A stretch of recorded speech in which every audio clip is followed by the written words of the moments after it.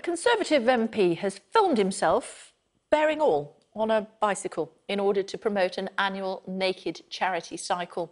Michael Fabricant is aiming to raise money for the St Giles Hospice in his constituency of Lichfield, which he says costs £9 million a year to run. In a video posted online, the 68-year-old rides a rented London bicycle around a park wearing only sunglasses and a silver tie. Want to have a look? Today, I'm launching a campaign to start an annual naked cycle ride in Lichfield. Why? because we've got the fabulous St Giles Hospice, which looks after over 7,000 people each year.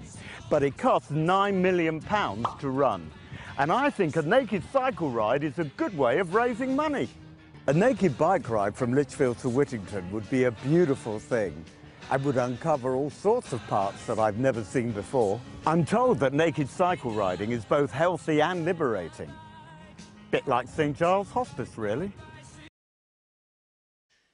And Mr Fabricant joins us now. I'm anxious to look round whether or not he's got any... Oh, yes, he has. Thank goodness for that. Hello to you, Mr Fabricant. Thanks for joining us on Sky News this afternoon. Tell us why you, how you came up with this idea.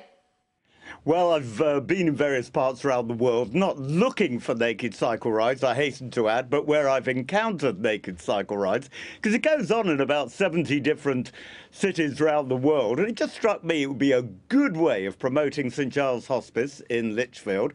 Covers a large area of the West Midlands, but it's based in Whittington near Lichfield. And I just thought it was a great way to raise money and uh, put up the blood pressure of some of my constituents, maybe. And what about those people who say you're just being an exhibitionist? Well, what's wrong with that if it's all for charity? but I must tell you, it was freezing doing that video. We did it in early spring, and uh, you can see the goosebumps on me, and it was terrible. OK, so what's the plan? Um, who, do you want other people to take part with you? Thankfully, you kept your tie on, I, I suppose. um, do you want other people to take part with you? Yeah, yeah, I'm hoping we might get 100, 200 people taking part. Every year, you know, we have the Sheriff's Ride with fully clothed people on horses. So I think a few naked people on bicycles going around Lichfield and maybe ending up in Whittington was a great idea of raising money. Uh, but I'm not going to be doing the organising. So people who know about this sort of thing, if they'd like to make contact with my office, that would be fantastic. Are you always going to be taking part? Not necessarily, but I promise that if it all happens, I'm certainly going to do the first ride. Will you not be a little bit embarrassed in front of your constituencies literally laid bare? letting it all hang out, as they say.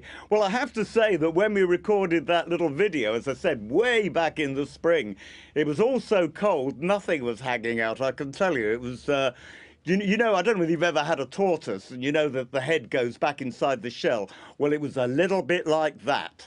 Right, I think that's more information than I'll ever need in my whole life. Um, tell me about the hospice, she said quickly. Tell us about the work that they do. No, well, it's marvellous. They look after 7,000 people every year, 80% of them in their own home. People who have got particular dysfunctions and those who have got terminal dysfunctions like cancer.